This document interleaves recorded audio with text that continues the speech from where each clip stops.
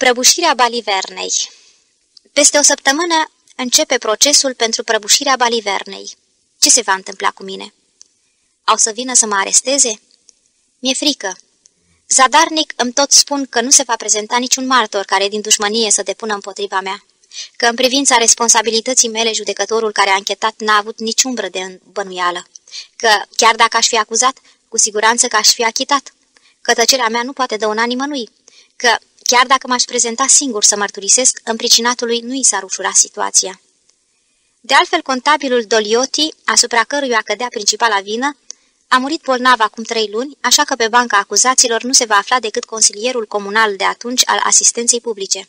Iar în privința lui e vorba de o incriminare pro forma. Într-adevăr, cum ar putea fi condamnat de vreme ce își luase în primire sarcina abia de cinci zile? Cel mult putea fi tras la răspundere consilierul dinaintea lui, dar acela murise cu o lună înainte, iar urgia legii nu pătrunde în bezna mormintelor.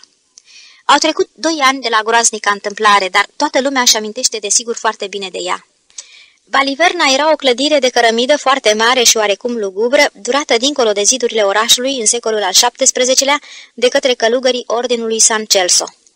După dispariția Ordinului, în secolul al XIX-lea, fusese folosită drept cazarmă și, înainte de război, mai ținea încă de administrația militară. Lăsată apoi în părăsire, se aciuiaseră acolo, cu încuvințarea tacită a autorităților, o mulțime de evacuați de război sau oameni rămași fără adăpost, biete ființe care își văzuseră casa distrusă de bombe, vagabonzi, haimanale, decăzuți, ba chiar și o mică ceată de țigani. Abia mai târziu primăria, intrând în posesia clădirii, făcuse acolo oarecare ordine, înregistrându-i pe locatari, punând la punct instalațiile strict necesare și îndepărtând pe cei turbulenți. Cu toate acestea, Baliverna avea o faimă proastă, mai cu seamă din pricina unor jafuri comise în acea zonă. Ar fi exagerat să spui că era un cuib de răufăcători, totuși nimeni nu trecea bucuros pe acolo noaptea. Deși la început Baliverna se afla în plin câmp, de-a lungul secolelor periferia orașului ajunsese până aproape de ea. Dar în imediata ei vecinătate nu erau alte case. Mizeră și posomorâtă, namila de clădire domina terasamentul căii ferate, pajiștile necultivate, sordidele barăci de tablă, risipite printre dâmburile de moloz și gunoaie în care locuiau cerșetori. Aducea a închisoare, a spital și a fortăreață totodată. De formă dreptunghiulară, era lungă de vreo 80 de metri și lată cam de 40. La mijloc avea o vastă curte interioară fără porticuri. Sâmbăta sau duminica după masă mă duceam adeseori pe acolo cu cumnatul meu Giuseppe, entomologul, care găsea multe insecte prin acele pajiști. Era un pretext pentru a sta puțin la aer în tovărășia cuiva. Trebuie să spun că starea posomorâtei clădiri m-a impresionat de cum am văzut-o. Însă și culoarea cărămizilor, numeroasele lucarne deschise în ziduri, cărperile, bârnele puse aici colo drept proptea, îi dovedeau decrepitudinea. Impresionantă era mai cu seamă partea din spate, uniformă și golașă, care avea doar câteva mici deschizături neregulate, semănând mai mult a barbacane decât a ferestre, de unde și impresia că e mult mai înaltă decât fațada prevăzută cu galerii și ferestre mari. Îmi amintesc că odată l-am întrebat pe cumnatul meu, nu ți se pare că zidul se apleacă puțin în afară?" El a râs. Parcă ai avea dreptate, dar nu e decât o impresie. Orice zid înalt dă impresia asta." Într-o sâmbătă din luna iulie, ne aflam acolo într-una din obișnuitele noastre plimbări. Cumnatul meu venise cu cele două fetițe ale lui și cu un coleg de universitate, profesorul Scaveții, și el zoolog, un tip de vreo 40 de ani, palid și molău, care nu fusese niciodată simpatic din pricina apucăturilor lui iezuite și a aerelor pe care și le dădea. Cumnatul meu susținea că e tobă de carte și pe deasupra un om foarte cum se cade. Eu însă îl socotesc un imbecil, altfel n-ar fi atât de îngânfat cu mine, asta doar pentru că eu sunt croitor, iar el om de știință. Când am ajuns la Baliverna, am luat-o pe lângă zidul din spate pe care l-am descris. În dreptul lui se întindea o bucată mare de teren prăfos, unde băieții jucau fotbal. De o parte și de alta erau într-adevăr înfipți țăruși pentru a marca cele două porți. În ziua aceea însă nu era nici urmă de băiat pe acolo. În schimb, câteva femei ședeau cu copiii la soare, la marginea câmpului, de-a lungul fâșiei plantate cu iarbă ce mărginea drumul pietruit. Era ora siestei și din falanster nu răzbăteau decât puține zgomote. Un soare toropit bătea fără strălucire pe zidul mohorât, iar pe la ferestre ieșeau prăjini încărcate cu rufe puse la uscat, atârnând ca niște steaguri fără viață, absolut nemișcate. Cei drept, nu era nicio adiere de vânt. În timp ce însoțitorii mei se împrăștiaseră să prindă insecte, eu, care pe vremuri fusesem un pasionat alpinist, m-am simțit tentat să încerc să mă cațăr pe ziduri dărăpânat. Găurile, marginile ieșite în afară ale unor cărămizi, fiare vechi încastrate aici și colo în crăpături, îmi ofereau puncte de sprijin destul de bune. N-aveam de gând, desigur, să mă sui până sus, era doar plăcerea de a mă dezmorți, de a încerca mușchii. O dorință, dacă vreți, destul de copilărească. M-am cățărat fără greutate vreo doi metri de-a lungul pilastrului unei uși mari, acum zidite. Când am ajuns la înălțimea arhitravei, am întins mâna dreaptă către un grătar din drugi de fier ruginiți, fasonați în formă de lance, care zăbrelea arcada ușii. Poate că în acea cavitate fusese pe vremuri chipul vreunui sfânt. Am apucat vârful lăncii și m-am tras în sus. Dar drugul a cedat frângându-se. Din fericire nu eram decât la vreo doi metri de pământ. Am căutat zadarnic să mă țin cu cealaltă mână. Pierzându-mi echilibrul, mi-am făcut vânt spre spate și am căzut în picioare fără alte urmări, cu toate că m-am ales cu o zdruncinătură zdravănă. Drugul de fier rupt a venit după mine. Aproape în același timp, după drugul de fier, s-a mai desprins unul mai lung, care din centrul grătarului suia vertical către un fel de consolă aflată mai sus. Trebuie să fi fost un fel de proptea pusă de mântuială. Rămânând astfel fără suportul ei, s-a desprins și consola. Închipuiți-vă o lespede de piatră mare cât trei cărămizi, dar fără să cadă. A rămas acolo înclinată pe jumătate ieșită în afară. Dar cu asta stricăciunea provocată involuntar de mine nu s-a terminat. Consola susținea un stâlp vechi, lung cam de un metru și jumătate, care la rândul lui sprijinea un fel de balcon. Abia acum observam toate aceste cărpăceli care la prima vedere se contopeau în vastitatea zidului. Stâlpul fusese pur și simplu înțepenit între cele două proeminențe și nu fixat în zid. Deplasându-se consola, după două-trei secunde, stâlpul s-a plecat în afară și abia am mai avut timp să sar la o parte ca să nu-mi cadă în cap. S-a izbit de pământ cu un bufnet surd. Se terminase oare? Pentru orice eventualitate m-am depărtat de zid, îndreptându-mă către grupul tovarășilor mei care se afla la vreo 30 de metri. Erau în picioare, toți patru cu fața spre mine, dar nu la mine se uitau. Cu o expresie pe care nu pot uita, priveau țintă la zid, mult deasupra capului meu și deodată l-am auzit pe cumnatul meu cum striga. Dumnezeule, uite, uite! Am întors capul.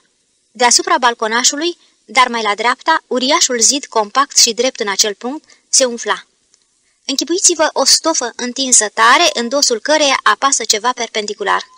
La început a fost un tremur ușor, șerpuind în sus pe zid. Apoi a apărut o umflătură lungă și subțire. Apoi cărămizile s-au desprins unele de altele, dându-și la iveală colții măcinați.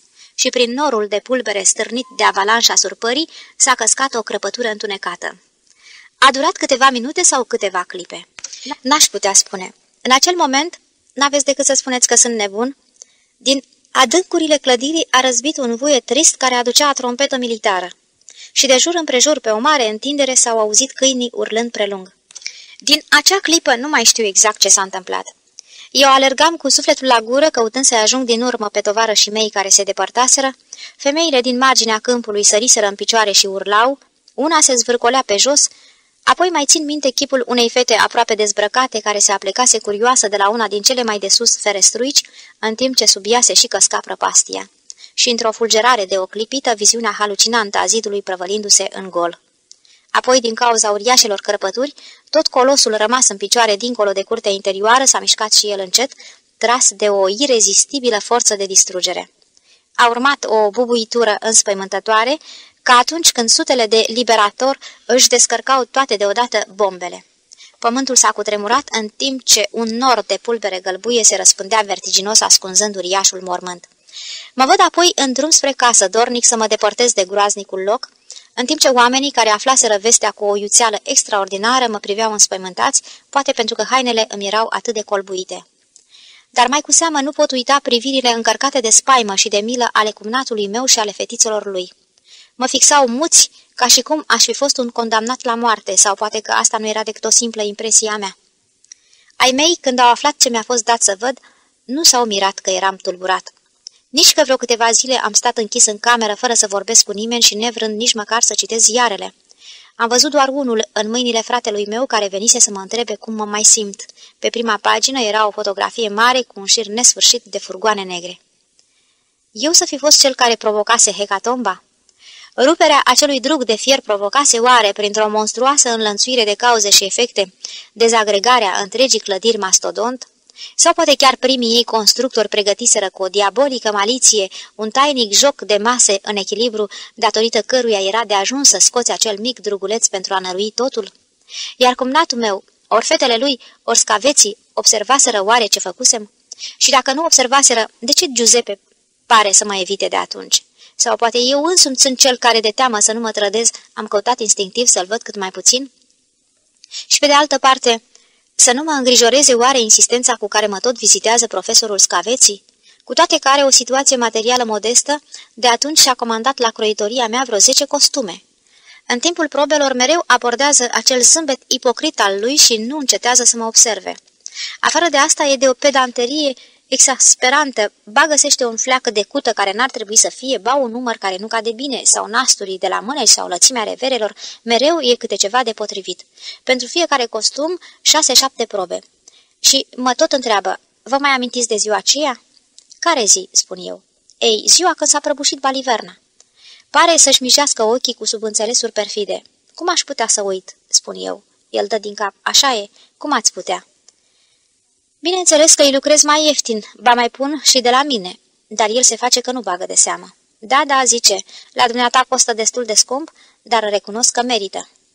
De câte ori îl aud așa mă întreb, e idiot ori îi face plăcere să mă șantajeze cu mărunțișuri și murdării din astea? Da, s-ar putea ca numai el să mă fi văzut când am rupt fatalul drug de fier. Poate că a înțeles tot, ar putea să mă denunțe, să dezlănțuie asupra mea furia populației. Dar e perfid și nu vorbește. Vine să-și mai comande un costum, mă supraveghează, gustă dinainte satisfacția de a mă înfunda când mă aștepta mai puțin. Eu sunt șoarecele și el pisica. Se joacă până când deodată o să înfigă gheara și așteaptă procesul, pregătindu-și lovitura de teatru. Când o fi mai întoi, o să se ridice în picioare. Numai eu știu cine a provocat prăbușirea, o să strige. L-am văzut cu ochii mei. A venit și astăzi să-și probeze un costum de flanelă, mai mieros ca de obicei. Ei, s-a strâns funia la par. Ce funie? Cum ce funie? Procesul. Tot orașul vorbește despre asta. Dumneata parcă ai trăi în nor, he, he. Adică prăbușirea Balivernei? Chiar așa, Baliverna. He, he, cine știe dacă nu o să iasă la iveală adevăratul vinovat. Apoi a plecat, salutându-mă deosebit de ceremonios. L-am condus până la ușă. Am așteptat până a coborât un etaj și n-am închis decât după aceea. S-a dus. E liniște. Mi-e frică.